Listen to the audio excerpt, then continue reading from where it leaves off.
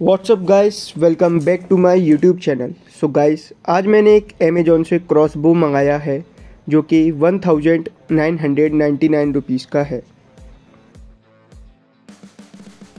सो so guys अब अपन अपना cross बो को इसके बॉक्स में निकाल लेते हैं। और देखिए, अपना ये क्रॉस बो है, ये आगे क्रॉस बो का पार्ट है। और तीन आर्चरी बो आते हैं, जो कि वैक्यूम है इसमें। एक क्रॉसबो के साथ यूज़र गाइड आती है, जिसमें अपन को क्रॉसबो को कैसे असेंबल करना है वो दिखाया है।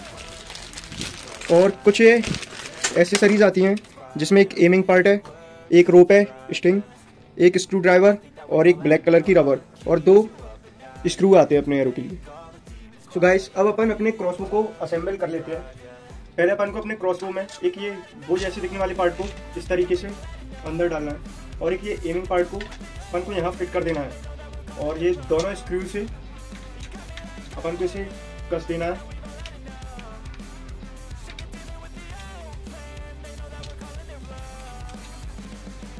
इस तरीके से अपन को अपने क्रॉसबो को असेंबल कर लेना है। तो गाइस अपन को अपने क्रॉसबो में इसकी स्ट्रिंग लगाने के लिए सबसे पहले इस स्ट्रिंग को जो ब्लैक कलर की रबर में पूरी तरीके से चढ़ा लेना है। तो गाइस इस तरीके से अपन को इस ब्लैक रबर को इस स्ट्रिंग के अंदर डाल लेना है और एक एंड पे अपन को इस तरीके से गठान लगा देनी है, यानी नॉट बना देना है। और अपन को इस नॉट को क्रॉसबो के एंड पे इस तरीके से डाल के अंदर की ओर खींच देना है। तो गाइस अब अपन को इस स्ट्रिंग को यहाँ से निकाल लेना है। इस तरीके से। और अब अपन को अपने को यहाँ से डाल के ऐसे निकाल लेना है। और ये व्हील पे अपन को इस वायर स्ट्रिंग को चढ़ाना है। और इस बार अब अपन को ये ब्लैक पार्ट को बो के ऊपर रखते हुए फिर इस वाली व्हील से निकाल लेना है। इस वाली व्हील पे इस वायर को चढ़ाते हुए फिर अपन को नीचे से वापस निकालना है यहाँ से।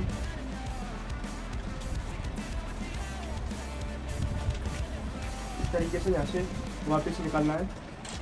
और अब अपन को यहाँ पे एक इसमें नोट लगा लेनी है, इस तरीके से।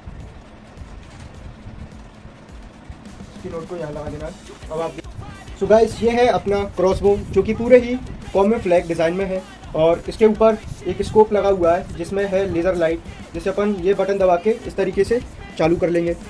और यहाँ पे एक सेफ्टी बटन जिसे अगर अपन यहाँ पे कर देंगे तो अपना स्विच काम नहीं करेगा और यहाँ पे करने पे अपना बो का स्विच काम करेगा। इस अगर अपन को अपने बुक की स्टिंग को लोड करना है तो अपन को स्टिंग को इस तरीके से होल्ड करना है और पीछे लाके इस तरीके से छोड़ देना है। अपनी यहाँ पे स्टिंग लॉक हो चुकी है। जब अपन इसके स्विच में तो दबाएँगे, अब ये तभी खुलेगी। अब अपन को अपने एरो को इस तरीके से क्रॉसबो के अंदर डाल लेना है और थोड़ा सा प्रेस करके फिट कर लेना है। इस तरीके से अब अपना क्रॉसबो बिल्कुल तैयार है चलने के लिए।